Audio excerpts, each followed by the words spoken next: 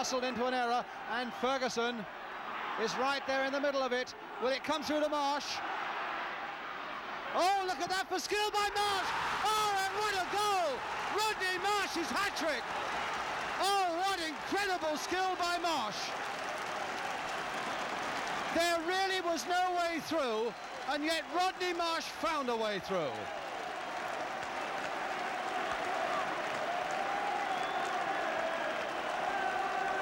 And certainly Eusebio in that number 10 shirt couldn't have done better than Marsh.